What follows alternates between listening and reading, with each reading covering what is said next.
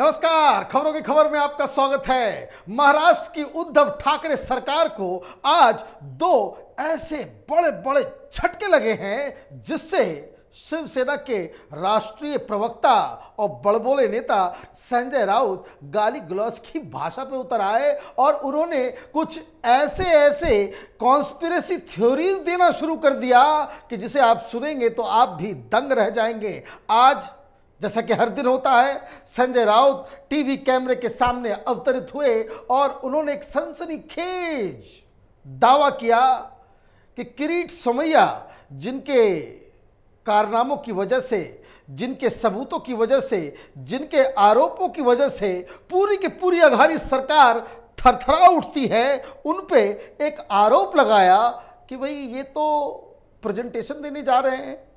किस बात का प्रेजेंटेशन देने जा रहे हैं? तो उन्होंने कहा कि जो भारतीय जनता पार्टी है, ये जो केंद्रीय की सरकार है, वो मुंबई को महाराष्ट्र से अलग करने की साजिश रच रही है। और उनके पास वो सारे दावे जो वो कर रहे हैं, उनके सबूत हैं, और ये जो किरीट सोमैया है, कुछ बिल्डर्स के साथ मिलके, कुछ बाकायदा इंडस्ट्रीज़ के साथ मिलकर वो प्लान बना रहे हैं कि मुंबई को कैसे लूटा जाए, कैसे मुंबई को एक जिस तरह से दिल्ली है, चंडीगढ़ है, यूनियन टेरिटरी बना दिया जाए और महाराष्ट्र से मुंबई को अलग कर दिया जाए। ये जो दावा है, इस दावे में क्या सच्चाई है, ये तो मैं आपको आगे बताऊँगा। लेकिन सबसे बड़ी बात कि अचानक से ऐसा क्या हुआ कि शिवसेना इस तरह की कॉन्स्परेसी थ्योरी को दुनिया के सामने आगे ला करके रखी। उसके पीछे की कहानी कुछ घंटे पहले घटी। वो ये कि ये जो बीएमसी के एक स्टैंडिंग कमेटी के जो चीफ हैं, यशवंत जाधव, उनके यहाँ एक बहुत बड़ी कार्रवाई हुई। एक तो पहले से ही शिवसेना बौखलाई हुई थी, क्योंकि नौ फ्लैट्स, नौ संपत्ति संजय राउत के अभी हाल में सीज हुई। लेकिन आज इससे भी बड़ी कार्रवाई हो गई। यशवंत यादव के इकतालीस संपत्तियों को कुर्क कर दिया गया। वो क्यों? क्योंकि इनके ऊपर आरोप चल रहे थे भ्रष्टाचार के, कि किस तरीके से पैसे का आदान प्रदान हो रहा था और उसमें एक जगह उससे पूछताछ के दौरान उसने इस बात को वो कागज़ में मिला कि इन्होंने दो करोड़ रुपए मातोश्री को दिए थे। और ये मातोश्री क्या है? ये पूरी दुनिया जानती है। और अब जब से ये कार्रवाई यशवंत यादव के घर हुई, वहाँ हड़कम बचा हुआ है क्योंकि पता नहीं, अब आगे यशवंत यादव अपने आप को बचाने के लिए क्या करें? पिछली बार जब पूछताछ चल रही थी तो इनकम टैक्स डिपार्टमेंट के अधिकारियों को एक डायरी हाथ लगी थी कि कहाँ कहाँ पैसे भेजे जा रहे हैं, जिसमें मालूम चला कि दो करोड़ रुपए और पचास लाख की एक घड़ी मातोश्री के नाम डाला हुआ है। जब उनसे पूछा गया कि भाई ये मातोश्री कौन है? बोला, ये मातोश्री मेरी माँ है। अब उसका भी इन्वेस्टिगेशन चल रहा है। अब ये जसवंत यादव ये कैसा श्रवण कुमार है, जो अपनी माँ को पचास लाख की घड़ी देता है, दे सकता है, लेकिन माँ को गिफ्ट भी देता है और डायरी में लिखता भी है, ये तो बड़ा अनहोनी है। लेकिन जो आज खबर आई, उससे पता चला कि कुल इकतालीस संपत्तियों को कुर्क किया गया है, जिसमें बांद्रा के पाँच करोड़ रुपए का एक प्लॉट भी शामिल है और इसके अलावा भाईखला में इकतीस फ्लैट, थर्टी वन फ्लैट्स और बांद्रा में पाँच करोड़ के दो फ्लैट भी शामिल हैं। और ये कार्रवाई टैक्स चोरी की वजह से हो रही है। जो लूट बीएमसी के अंदर मची हुई थी, उसका हिसाब लिया जा रहा है और ये सारी संपत्ति जाने के बाद यशवंत यादव की स्थिति क्या होगी, क्या मनोदशा होगी, वो क्या क्या उगलेगा क्या क्या बोलेगा और उसकी वजह से कितने सारे लोग इनकम टैक्स के लपेटे में आने वाले हैं, ये एक अपने आप में बहुत बड़ा सवाल है। उधर संजय राउत के भी फ्लैट जो है वो बकायदा जब्त कर लिए गए हैं। तो ये खबर जैसे ही आई, शिवसेना के पूरे सो कह सकते हैं कि पार्टी के अंदर हड़कंप मच गया कि कार्रवाई पे कार्रवाई लगातार होती चली जा रही है। रुक कोई नहीं रहा। अभी एक दिन पहले शरद पवार वो प्रधानमंत्री से मिले। बकौल शरद पवार उन्होंने बताया कि जो कार्रवाई की जा रही है, वो ठीक नहीं है, उसकी ज़िम्मेदारी प्रधानमंत्री मोदी ले तो ऐसा लग रहा है कि प्रधानमंत्री मोदी ने कह दिया होगा कि मैं ज़िम्मेदारी लेने के लिए तैयार हूँ। और ये तैयारी उनकी वजह से ही कोई कार्रवाई में कमी नहीं आ रही है। दरअसल वो कार्रवाई और ज़्यादा तेज हो गई। मतलब शरद पवार के सारे अटेम्प्ट्स सौदेबाजी के वो फेल होते हुए नज़र आ रहे हैं। तो एक वजह ये, दूसरी वजह एक और सीबीआई से पूछताछ के डर के मारे अनिल देशमुख इस उगाही मसले में जो फंसे हुए हैं, अर्थर रोड जेल के अंदर हैं, वो नए नई तरकीब नए नए बहाने लेकर के कि किसी तरीके से ये सीबीआई का पिंड छूटे। सीबीआई कह रही है कि 400 करोड़ का मसला है। ईडी ने कोर्ट में लिख के दिया कि ये जो पूरा बार और रेस्टोरेंट वाले से जो उगाही का धंधा चल रहा था, उसका मास्टरमाइंड वो अनिल देशमुख है। उसके कहने पे, उसके इशारे पे, उसके आदेश पे ही ये सचिन वाजे बार मालिकों और रेस्टोरेंट मालिकों से पैसे उगाही किया करता था। मतलब उधर अनिल देशमुख को कोई रिस्पाइट नहीं मालूम चला कि भाई उन्होंने एक कहानी बना दी कि भाई मैं बाथरूम में गिर गया। हमारी उम्र भी हो गई, बहत्तर साल का हो गया हूँ मैं। हमें जमानत दे दी जाए तो वो पहुँचे थे कोर्ट। कोर्ट जब पहुँचे तो आज कोर्ट में भी उसको बड़ा झटका लगा। उन्होंने कहा कि हेल्थ ग्राउंड पे हमें दिया जाए जमानत। बहुत दिन हो गए जेल के अंदर। और ये सारे लोग वही हैं जो अर्नब गोस्वामी को जेल के अंदर डालने में सब शामिल थे। लेकिन जज साहिबा ने क्या कहा?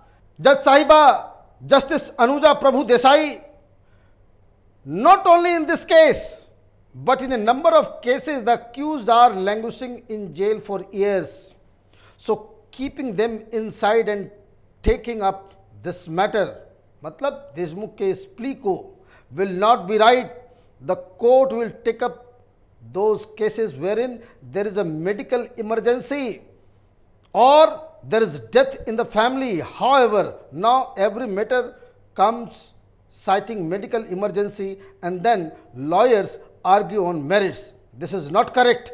You cannot take the court for granted. Court भी नाराज़ हो गई आज उन्होंने कहा कि भाई ये मेडिकल इमरजेंसी बता रहे हो कि भाई तबीयत खराब है, बहत्तर साल का हो गया हूँ, उम्र का हवाला दे रहे हो तो कोर्ट ने पूछा कि बताओ भाई स्पेसिफिक प्रॉब्लम क्या है बहुत सारे लोग और आपसे ज़्यादा उम्र के लोग जेल में पहले से, भाई कई सालों से बंद हैं, सबको जमानत दे दी जाए आपके मैटर को क्यों हम इमरजेंसी उनको कहा भाई इमीडिएटली आप इसके ऊपर सुनवाई कीजिए और जमानत दीजिए। कोर्ट ने कहा कि अभी दो सप्ताह के बाद सुनवाई करेंगे। आप पहले आप डिटेलिंग बताओ कि, भाई, क्या तबीयत खराब है, क्या एग्जैक्ट इमरजेंसी है? तो ये जो बहानेबाजी चल रही है, वो सारी चीज़ें इसलिए हो रही है क्योंकि अनिल देशमुख सीबीआई को फेस नहीं करना चाहते। जिस तरीके से वो ईडी से बच रहे थे ईडी के पास, वो जब समन पे समन उनको जाता था, वो कभी लोअर कोर्ट तो कभी सेशन कोर्ट, कभी हाई कोर्ट तो कभी सुप्रीम कोर्ट, जहाँ तहां उन्होंने हाथ पैर मारा कि किसी तरीके से वो बच जाएँ। लेकिन होना वही है, जो किस्मत में लिखा है, डिवाइन जस्टिस है ये, वक्त का पहिया है, जो उल्टा घूम रहा है अनिल देशमुख के लिए, और अनिल देशमुख को जेल जाना पड़ा। तो ये दो झटके जो लगे, एक शिवसेना के बीएमसी के स्टैंडिंग कमेटी के चीफ यशवंत यादव के घर संपत्ति का कुर्क होना और दूसरा अनिल देशमुख के बेल को रिजेक्ट कर जाना बेल प्ली को। और एक सप्ताह के लिए मतलब अब पंद्रह दिन तक वो सीबीआई के कस्टडी में रहेंगे। सीबीआई को कोर्ट ने कहा है कि भाई, उसको दिल्ली मत लेकर के जाना, मुंबई ही जाकर के पूछताछ कर लो। क्योंकि ये प्ली लगा रहे भाई, तबीयत खराब है।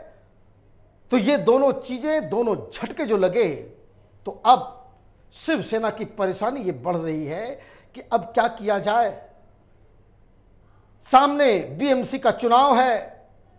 अगर इसी स्थिति से शिवसेना और अघाड़ी सरकार के लोग बदनाम होते रहेंगे, भ्रष्टाचार के मसले में इस तरह से उनका नाम आता जाएगा और चुनाव से पहले अगर यह मसला शांत नहीं हुआ तो बीएमसी में शिवसेना को अपनी जमानत बचाने में भी दिक्कत हो जाएगी, क्योंकि दूसरी तरफ़ से ये राज ठाकरे, वो इनको माइग्रेन दे रहे हैं, सरदर्द बने हुए हैं। कभी वो लाउड स्पीकर उठा दे रहे हैं, कभी कुछ और उठा दे रहे हैं, और ये कि राज ठाकरे और बीजेपी गठबंधन करने जा रही है शिवसेना बीएमसी इलेक्शन में पूरी तरीके से अलग थलग हो जाएगी। तो इसलिए नया पासा फेंका गया। जिस तरीके से महाभारत में शकुनी पासा फेंका करता था तो आज संजय राउत ने पासा फेंक दिया कि ये महाराष्ट्र की अस्मिता, मुंबई का जो पहचान है, मुंबई की जो आइडेंटिटी है, उसके ऊपर ही बीजेपी हमला कर रही है। मुंबई को महाराष्ट्र से अलग करने की साजिश रची जा रही है। ऐसी कोई ज़िक्र नहीं, ऐसी कोई चर्चा नहीं। ये कोई बात, ये कोई बच्चों का खेल नहीं कि मुंबई को आप किसी राज्य से अलग कर दे। लेकिन फिर भी आपको लोगों की भावनाओं को भड़काना है कि ताकि ये जो मराठा मनुष्य है, वहाँ पे वो उनको लगे कि नहीं नहीं, बीजेपी बड़ा गलत कर रही है। तो आपने ये पासा फेंक दिया। अगर संजय राउत के पास कोई सबूत होता तो वो सबूत आज ही वो दे दिए होते। संजय राउत आज तक कई सारे आरोप लगा चुके।